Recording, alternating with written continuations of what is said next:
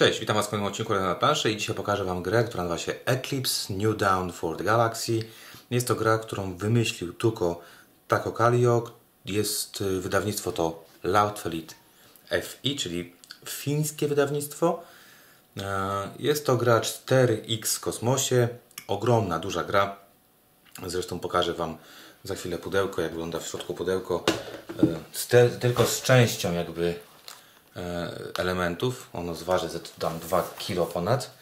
E, Gra skierowana jest tak naprawdę od 2 do 6 graczy. Czas rozgrywki to około 30 minut na gracza. Ważne, gracza, który jest ograny z grą, tak? Czyli rozgrywka trzyosobowa będzie trwała półtorej godziny w przypadku, kiedy tylko te trzy osoby będą dobrze grę e, znały. E, i co? Ja Wam pokażę polską wersję. Ja mam polską wersję, to znaczy spolszczoną może wersję w ten sposób przez Rebela i też postaram się pokazać ogólnie o co chodzi w grze, jako że ogrom tej gry i, i jakby możliwości, które ona daje, trochę przekraczają moje, yy, moje zdolności statywowo mm, jakieś tam. Ok, o co chodzi w grze? Gra to jest 4X, czyli e, mamy mm, grę, w której będziemy eksplorować, będziemy sobie e, wydobywać pewne rzeczy, czyli eksploatować, będziemy sobie eksterminować y, osoby. No jest straszne, to będziemy po prostu y, robić y, złe rzeczy. E, Dzieje się ona w kosmosie, gdzie każdy z graczy rozpoczyna sobie z układem, układem planetarnym. Układ planetarny wygląda w ten sposób, że centralnie mamy miejsce na zaznaczenie, czyj ten dysk jest. Tu mamy punkty zwycięstwa, które otrzymamy na koniec gry, o ile taki układ będzie nasz. I mamy planety. Planety są trojakiego rodzaju. Tutaj mamy troszeczkę inny układ na, na tych kaflach początkowych. Mamy y, planety, które przynoszą em, bud- materiał budowlcowy, e, które przynoszą naukę i które przynoszą pieniądze.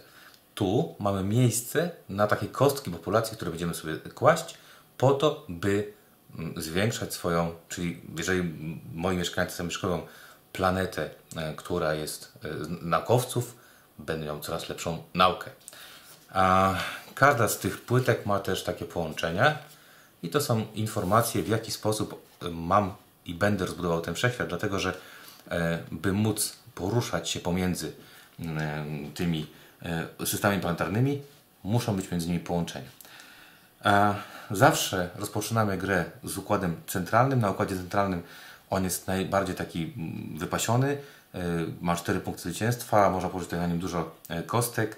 Ma bardzo fajne, tutaj na tym może pokażę, ma szare planety, które mogą być dowolną planetą w zależności od e, naszych e, potrzeb.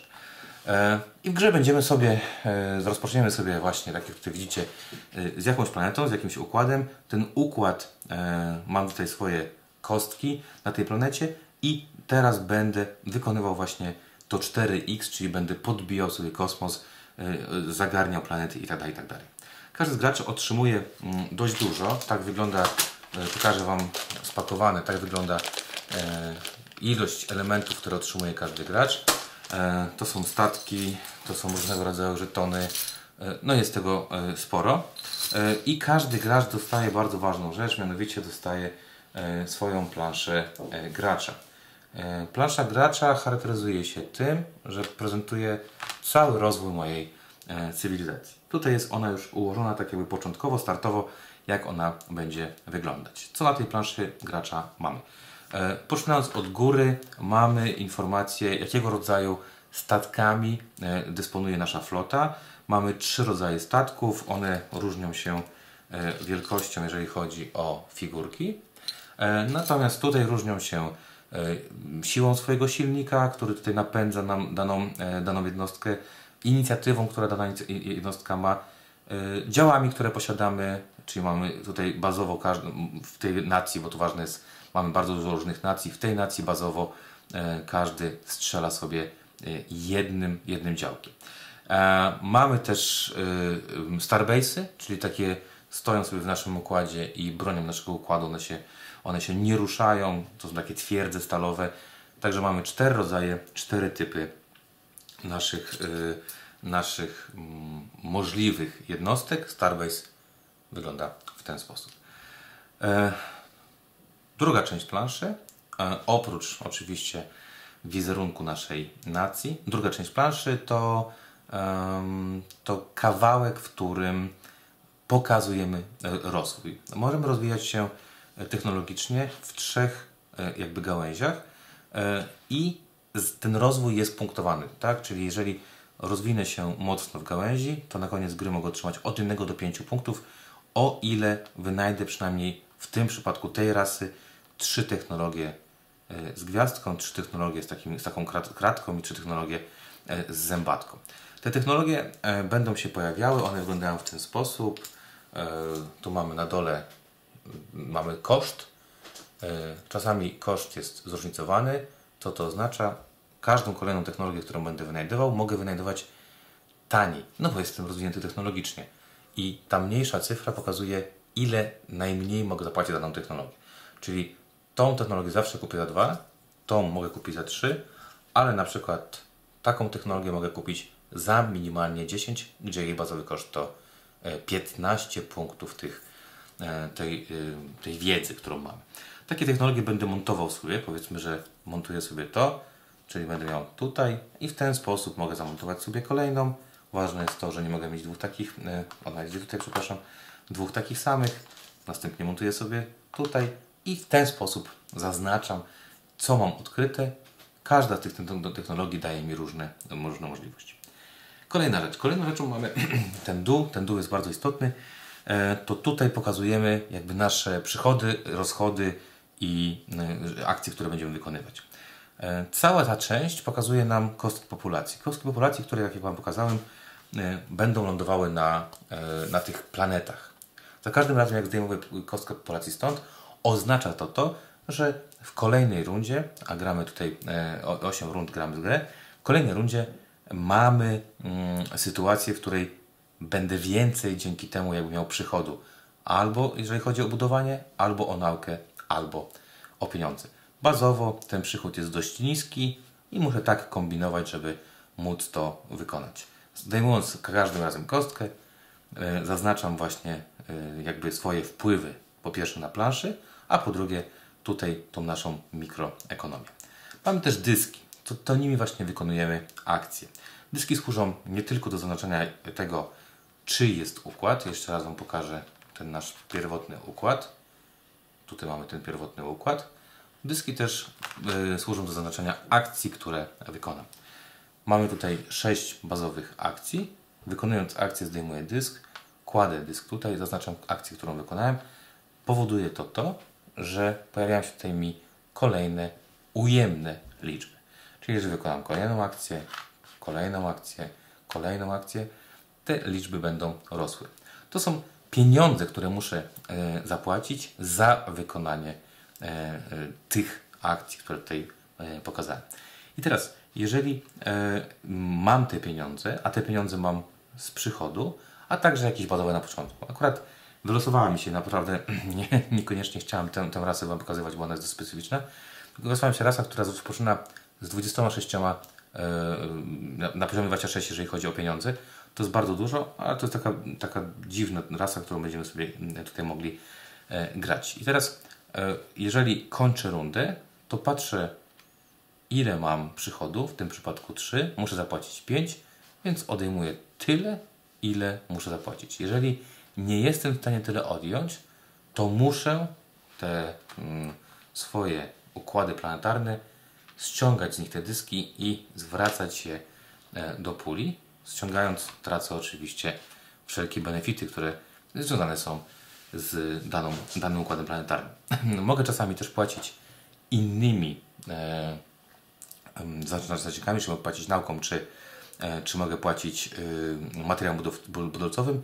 Każda rasa, e, w zależności od tego, jaką gramy, ma tutaj napisane, jakim e, przelicznikiem mogę za to płacić. Czyli w moim przypadku jest to 3 do 1, czyli jeżeli chcę zamienić sobie e, materiał budowcowy, sobie chcę robić, to, to muszę zapłacić powiedzmy e, 3 monety, tak?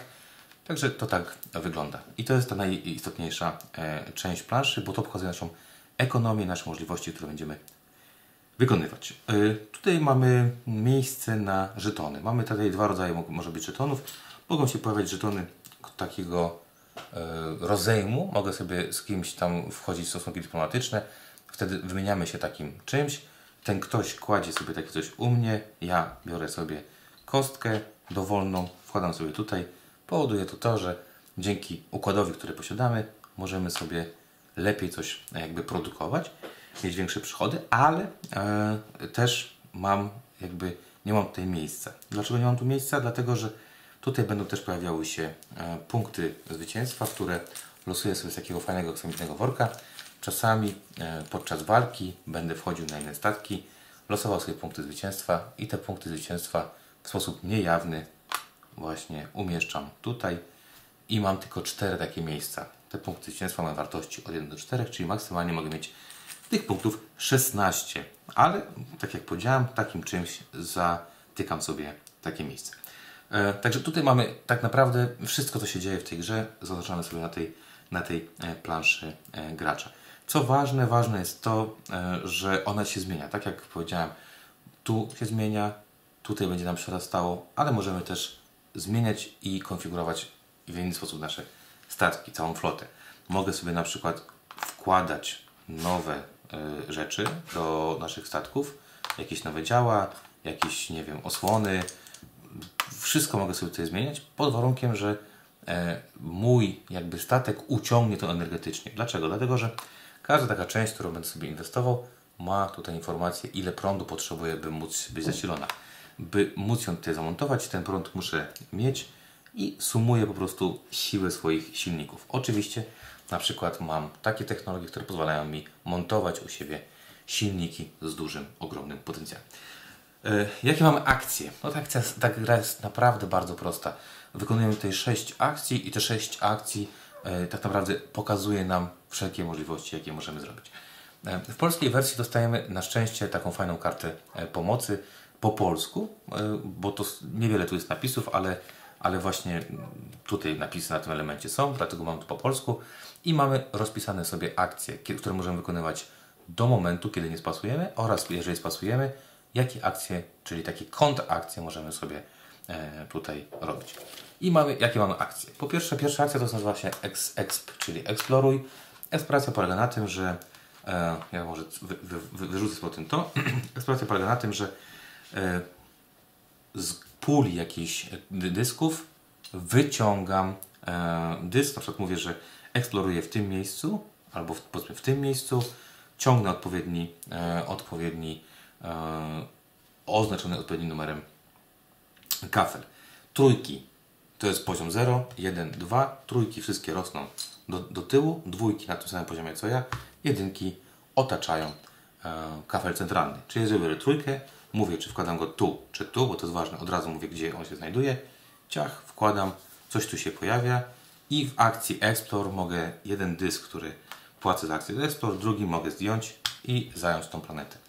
Planety z trójki są przeciętne, ale mają bardzo fajną rzecz, czyli mam przeważnie jakiś artefakt. Jeżeli mam artefakt, znaczy artefakt, przepraszam, jakiś, jakąś taką nagrodę.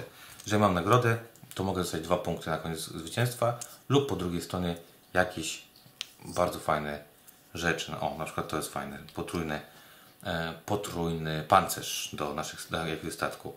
Plus 8 monet, pieniędzy. Mm, jeden, e, jedna płytka e, odkryć. Także tak wygląda eksploracja.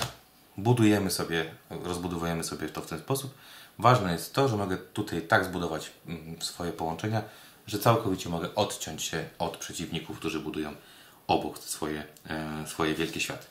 Akcja numer dwa, czyli e, build, budowanie. Budowanie polega na tym, że płacąc koszt e, budowy statku, on jest tutaj 3, 5, 8 i tak dalej, i tak dalej Mogę na, w miejscu, gdzie mam swoje, swoje planety, stawiać statki. Te statki, tak jak powiedziałem, mają pewną specyfikę, która określona jest na tej planszy gracza. E, bazowo mogę robić tego to dwa razy. Są nacje, które mogą robić to raz, są nacje, które mogą robić to trzy razy.